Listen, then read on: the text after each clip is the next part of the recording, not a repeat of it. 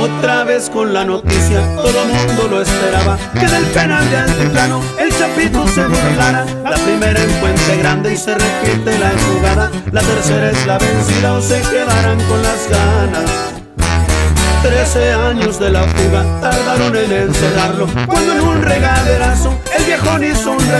el señor se encuentra libre, otra vez se la pelaron Pues él sigue siendo grande, otra vez se ha comprobado por un túnel se ha escapado, eso es lo que se comenta. No acostumbra estar sentado, menos detrás de las rejas, aunque tiene su legado que le respalda la empresa. Su sangre no es para encierros, le gusta estar aquí afuera, disfrutando de la sierra.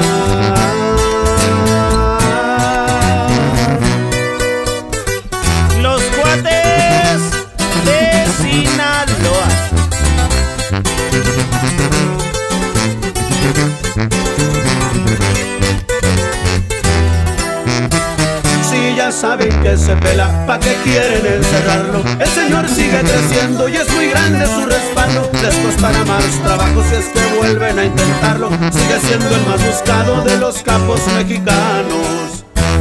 Es Joaquín Guzmán lo era, lo es y seguirá siendo el jefe de Sinaloa, también del gobierno. Dicen que eso fue planeado y al pueblo le están mintiendo. Y lo del túnel fue un invento y por la puerta salió el viejo.